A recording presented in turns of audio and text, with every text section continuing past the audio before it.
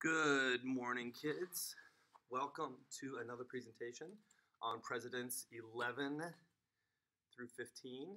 So we are still in the antebellum era. In fact, we've got about 16 years of presidents going from 1845 to 1861, which is a good place to stop because from there we will go into the Civil War. So let's recap the presidents that we've looked at already. So we began with George Washington, then we had John Adams, Thomas Jefferson, James Monroe, or I'm sorry, James Madison, James Monroe, John Quincy Adams, Andrew Jackson, Martin Van Buren, William Harrison for one year, or actually less than that, and John Tyler. So that's a review of Presidents 1 through 10. We spent some time talking about the problems of antebellum America. Uh, the main problem of antebellum America, to be quite honest with you, is slavery. The Missouri Compromise reached in 1820, signed by um, James Monroe, basically meant that Maine was admitted as a free state and Missouri was admitted as a slave state, but there would be no slavery north of the 36th parallel. So the U.S. map was sort of drawn out. There was a lot of fights over where you could have slave states, where you could not have slaves. So this was a constant battle. And as we're going to see, there's going to be another compromise, the compromise of 1850, where the United States is going to have to figure out what's going on after the Mexican American War between 1846 and 1848. So what's going to happen with all that territory and the slaves that are going to come in there? So the major issue in antebellum America is the problem of slavery. And this, as we see, will have a lot to do with what's going on with these presidents leading up to the outbreak of the Civil War. So let's go and remember real quick what these mean. So the background, so we're looking at the background of these presidents. Where do they come from? The domestic policy. Domestic policy is how do they do things at home. And remember, you always have these two party this two party system where some some parties want a big government and other parties want a small government. So in the beginning, uh, the Federalists were the party of big government, and the Democratic Republicans uh, were the party of small government. And then, of course, we have the foreign policy. So, foreign policy, what is going on outside of the country. So, domestic, what's at home foreign, what's out there in the world outside of the United States. So let's begin. We're going to talk about James K. Polk. Okay, let's talk about him. James Polk was born in a log cabin in Pineville, North Carolina. He studied law and had a reputation as a good public speaker, and he decided to go into politics. He was elected to Congress at the age of 29. In Congress, he was a strong supporter of Andrew Jackson. He got elected as Speaker of the House in 1835, and the Speaker of the House presides over the meetings of the House of Representatives. As the Speaker, he imposed the gag rule in talking about slavery. I think we talked about that with the last set of presidents. This gag rule that's prohibiting people talking about slavery. And if we remember, Andrew, I'm sorry, uh, John Quincy Adams didn't like that he was definitely on the side of trying to stop the spread of slavery. But this gag rule means let's not talk about it. Doesn't seem to be very helpful, but that's what was happening. Let's talk about his domestic policy. He had, James K. Polk had four distinct goals when he became president. He wanted to reduce tariffs, he wanted to reestablish the independent treasury system, he wanted the Oregon Territory, and he wanted to get California from Mexico. He accomplished all of those goals in one term. He allowed Texas to be admitted into the Union in 1845. And as a general rule, this period of westward expansion of the United States was called a time of manifest destiny. This is important. This is the idea that, oh, it's just our destiny to go from coast to coast. It's our destiny to take these lands and make them our own. So, this is the idea of manifest destiny under James K. Polk and even earlier presidents. This idea that this land was um, granted to uh, the United States by God was a very common theme in the antebellum period. It's the idea that, well, we're here, we have it, and therefore it's God that has ordained us to have this. Uh, very interesting theological justification there. All right, so let's look at his foreign policy. The Oregon Territory was a disputed area of land held jointly by the United States and Britain. Polk and the Democrats wanted the land badly. They made it clear that they were willing to fight for the land. Britain backed down and allowed the United States to have all the land beneath the 49th parallel. Polk also wanted to buy California from Mexico, but Mexico was not interested. He sent General Zachary Taylor, remember that name, into disputed territory on the border to push the issues.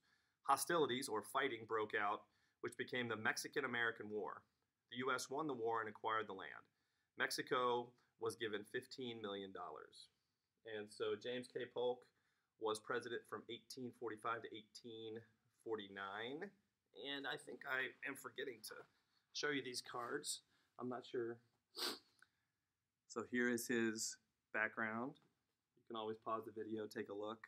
Here is domestic policy. Here is foreign policy. And yeah, so years for filling out your presidential sheets. Yes, he was president from 1845 to 1849. Let's look at some fun facts if I can find any here. He was, at the time, at the age of 49, the youngest man ever to be elected to the presidency. Okay, he studied law in North Carolina, supported Andrew Jackson. We talked about this.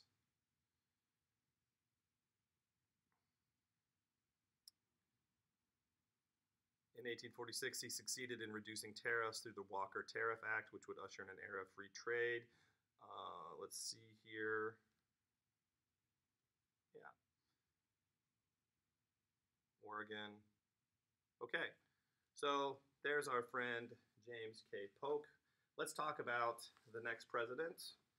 Hmm, I told you to remember the name Zachary Taylor. Okay and he was president from 1849 to 1850. Zachary Taylor's father was a lieutenant colonel during the American Revolution. He decided to go into the military as well. He distinguished himself during the War of 1812. This is a common feature, this War of 1812, making these uh, military careers and then these men later becoming presidents.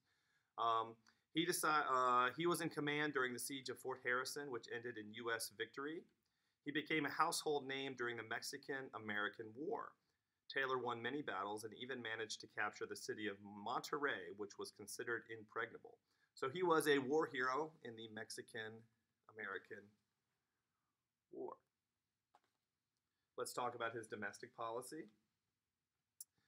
Gold was discovered in California right after the Mexican American War. This led to a gold rush. A lot of settlers moved to the new territory to make their fortune. This caused a lot of political pressure for California to be admitted as a state. President Taylor, although a slave owner, did not want California to be a slave state, and he died only after 16 months in office. His death was caused by an unknown digestive ailment.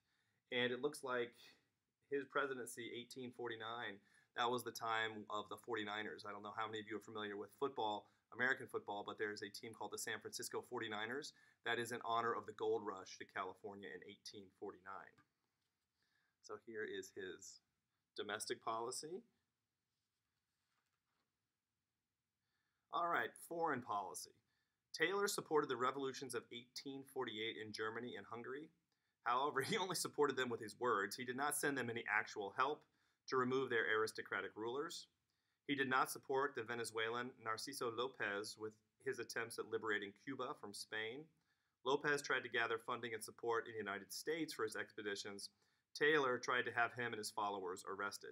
So this is a uh, another theme in uh, U.S. relations with other countries at this point in our history. There's this sort of isolationist streak where we kind of just want to be left alone during this time. Uh, and that is a, a, theme that runs through from the very beginning. Some are more isolationist than others. Taylor seems to be on that end of the spectrum. All right, so Taylor, president from 1849 to 1850. Let's look at some fun facts here. His vice president was Millard Fillmore. Obviously, he's going to be the next president. He's a Whig. Oh, he had never actually ever voted in a presidential presidential election, uh, and he really had no knowledge of the political process. He was a military man. Uh, he grew up in Louisville. In the War of 1812, he served under General William Henry Harrison. He was promoted to a major in 1816 by President Madison. He defended the western frontier during the Black Hawk War of 1832, and Abraham Lincoln served under him. Right, some interesting facts. Very, very much a military man.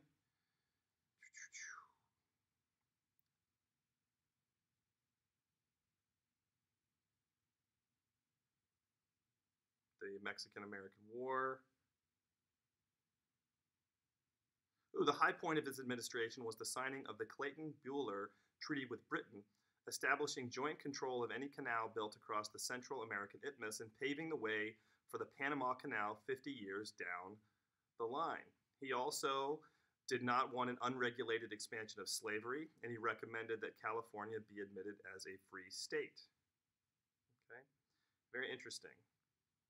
He died, it says here he died of cholera contracted during a Fourth of July celebration, during which he laid a cornerstone for the Washington Monument. So we've got two theories: we've got digestive and we've got cholera.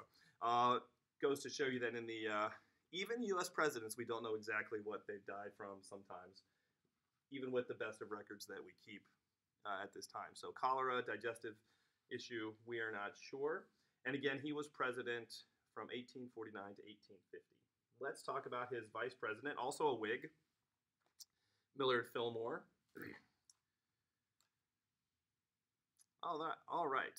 As a young politician, Fillmore was part of the Whig Party. He oppo- opposed letting Texas join the Union as a slave state, which was in 1845.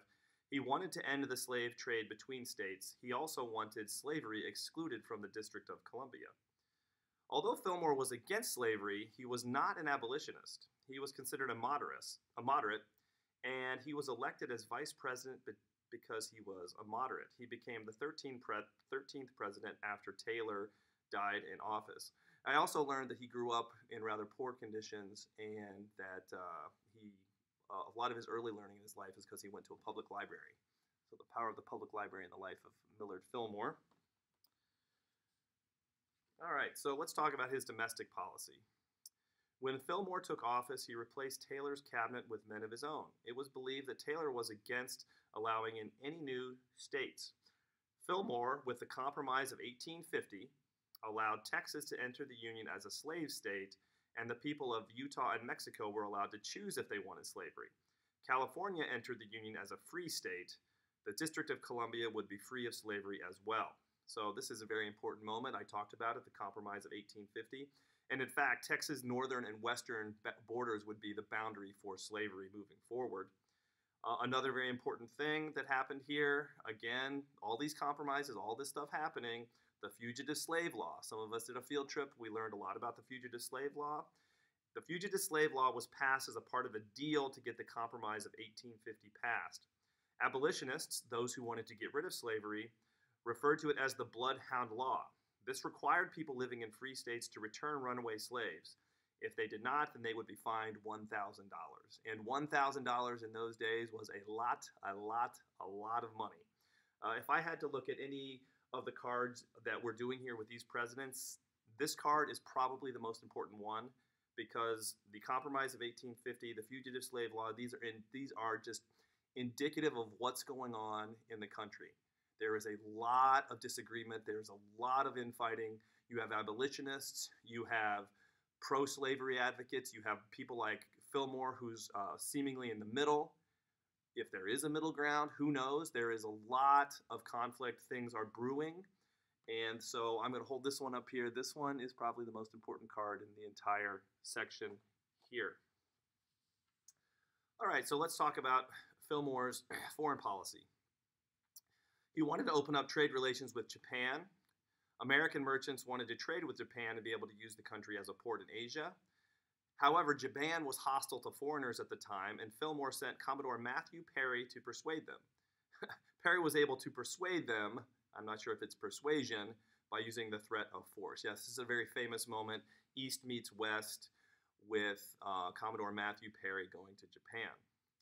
Southern slave owners wanted to take Cuba from Spain and make it a slave state. Some of these Southerners supported Narciso Lopez in his attempt to do this. Fillmore was against this plan and he wanted those conspirators arrested. So there's some stuff going on down in the Caribbean area as well.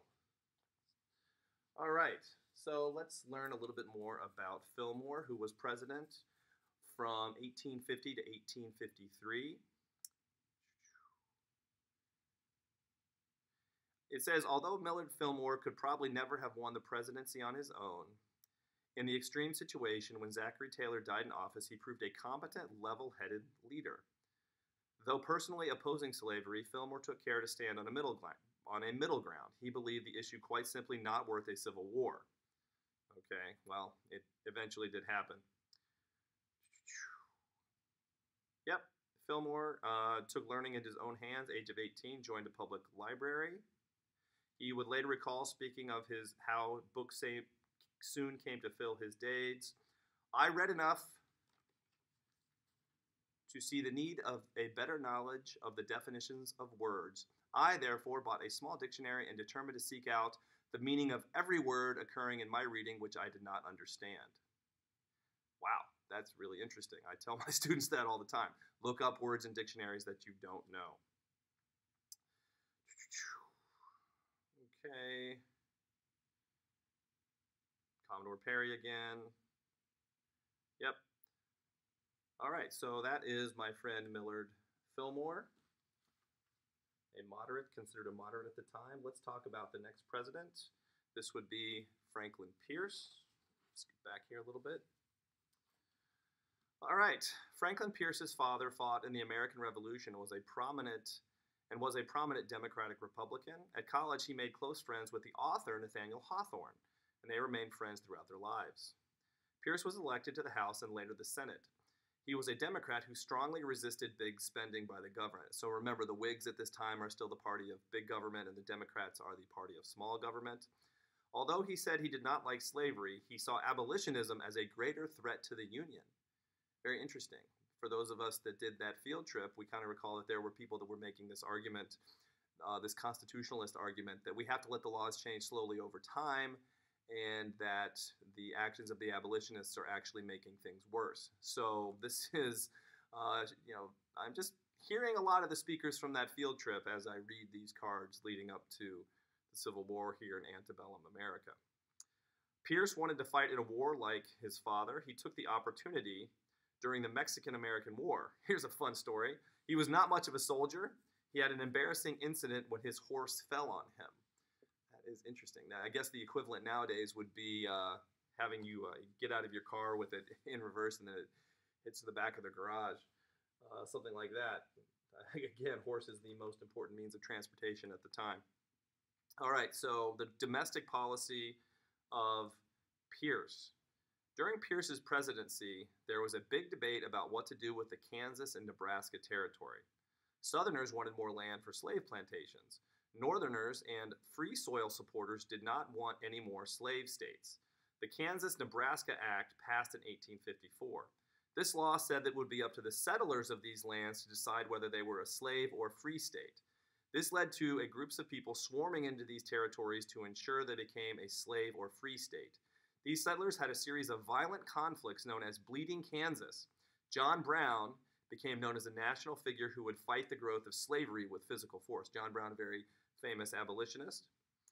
The debate about slavery became so hostile that violence even broke out in the Senate chamber. Preston Brooks attached, attacked Charles Sumner with his cane. So, if Millard Fillmore's domestic policy is the most important card, this is definitely very close because we've got Bleeding Kansas, we've got John Brown using violence to end slavery, we've got people using violence to promote slavery, we have congressmen fighting, senators fighting in Congress. Wow. So, U.S. history, things are really, really, really becoming uh, heated with respect to the issue of slavery, kids. Very, very important to remember this during this antebellum time period. All right, let's look at the foreign policy of Pierce. Pierce acquired more land from Mexico with the Gadsden Purchase. The area of land in New Mexico and Arizona was needed to run a railroad line through. It was purchased for $10 million. Pierce supported the aggressive expansion of the United States that was taking place. He chose expansionists to work in his cabinet, like James Buchanan. James Buchanan proposed a document called the Ostend Manifesto This was a proposal to purchase Cuba from Spain or take it by force. Pierce rejected the idea after the bloodshed in Kansas. Didn't want to have any more uh, bloodshed under his presidency. So there's that card on the foreign policy of Franklin Pierce. All right, so Pierce was president from 1853 to 1857. Okay. He became a lawyer in New Hampshire in 1827. Other interesting things here. 1829, elected to the state legislature. He was a supporter of Andrew Jackson. He was elected to the Senate in 1837, and he was only 33 at the time. He enlisted in the Mexican War as a private.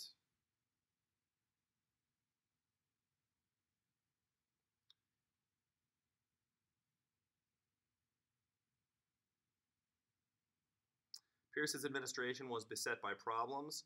His pressing for passage of the Kansas Nebraska Act in 1854, which gave popular, sovereignty to the people of those places to choose, provoked bloodshed between settlers over the slavery issue and led to the founding of the uh, abolitionist Republican Party. His attempts to acquire Cuba from Spain did not work as well. We Talked about the Gadsden Purchase. All right, so there is our friend Franklin Pierce, Democrat, 1853 to 1857. All right, let's talk about our last president in this set, James Buchanan. Okay, let's talk about his background. James Buchanan was born in a log cabin in Cove Gap, Pennsylvania. Pennsylvania. He studied law as a young man. He was a Federalist in his politics until the Federalist Party disbanded or broke apart. He did not support the War of 1812, but he just did choose to help fight in the war once it began. He later became a Democrat and served as Secretary of State under James Polk. He helped negotiate the Oregon Treaty with Britain. The Democrats nominated him as president in 1856. This was because he was out of the country during the Kansas Nebraska feud period this made him appear to be an impartial figure. Wow, looks like Bleeding Kansas situation was a major national issue at the time. All right, during Buchanan's presidency, presidency, Dred Scott, this is the famous Dred Scott case, sued for his freedom. He was taken to a free state, and so he tried to sue for his freedom. The Supreme Court, which was dominated by Southerners, decided against Scott. They also declared that African Americans, whether enslaved or free, are not citizens and cannot sue. Buchanan secretly supported the decision and urged the court to make such a sweeping declaration. He did this because he was hoping that this would put an end to the slavery debate. He hoped people would finally accept that slavery was here to stay.